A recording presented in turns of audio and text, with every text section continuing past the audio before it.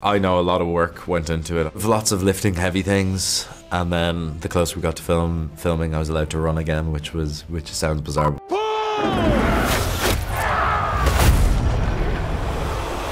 Paul Mescal detailing his jaw-dropping fitness transformation for the highly anticipated Gladiator sequel.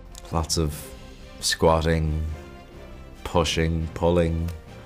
Like it's nothing. We didn't kind of um, change the wheel with it. It was it was all kind of pretty standard in, in, in that regard. But I was keen for it not to look like like false or kind of overly aesthetic in in any way.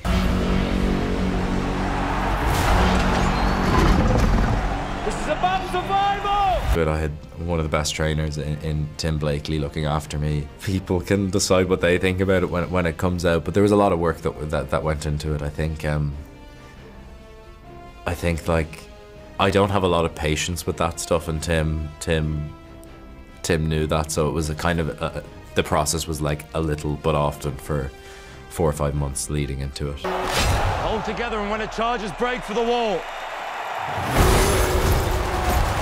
I feel strong and, and, and feel robust and be able to take the impacts that were inevitably gonna come and as the film progressed. The Irish actor is flexing those robust muscles in a thrilling new trailer for Ridley Scott's historical drama, which picks up 20 years after the original. My name is Gladiator. And follows Lucius, a former heir to the Roman Empire, as he's forced to fight as a gladiator.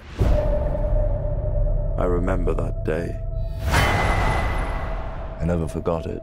That a slave could take revenge against an emperor to deliver for fans, I think the main thing that I'm excited about is kind of the homage that it pays to the first one, but also the kind of new direction that the, the film takes. I think it's well balanced in that regard in terms of the physical action of the film and the balance of the kind of political aspects of the film as well. Whose head could I give you that would satisfy this fury? The entire Roman armies. Too much?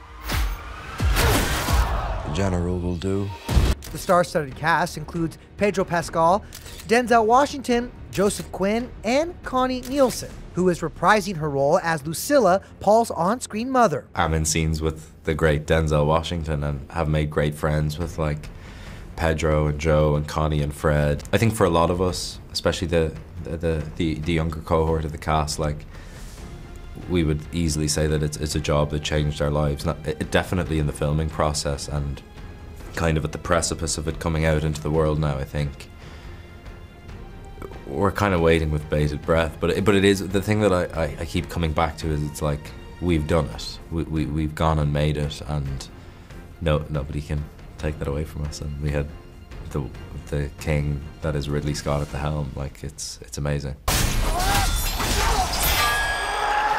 And it's a film that like lots of like men my age and, and dads can quote religiously. It's just been in the cultural zeitgeist for 20 years and there's not a lot of films that have done that, um, especially in this genre. So there's a healthy amount of pressure, but there's also a healthy amount of confidence from the people who've made the film that we, we are excited to kind of add the ne next installment to a film that has been and will continue to be incredibly popular.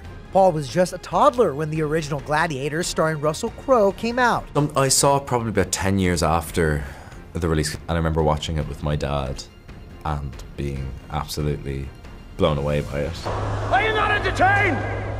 Are you not entertained? Gladiator was a blockbuster success, winning several Oscars, including Best Picture. Paul knows he's got some big shoes to fill. It's an immense honor. Like, it's not lost on me that that film is is hugely important to a, lot of people across the world and for the great Ridley Scott to kind of pass the baton onto me is is something that like uh, my drama school self or even the version of myself that was 15 watching the film for the first time could never have imagined. But um, yeah, probably one that of honor and like a great a great deal of pride, I think. Gladiator 2 will feature a major battle on and off the screen when it hits theaters on November 22nd, the same day as the highly anticipated Wicked film.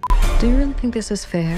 I do not. Wickiator doesn't really like roll off the tongue, does it? I, I think I think my preference would probably be Glicked, but um kind of a, i- if it has a similar effect to what it did for for um, Barbie and Oppenheimer, it would be amazing because I think I think that the films couldn't be more polar opposite, and, and it worked in, in that context previously. So, fingers crossed, people come out and and and, and uh, see both films on opening weekend.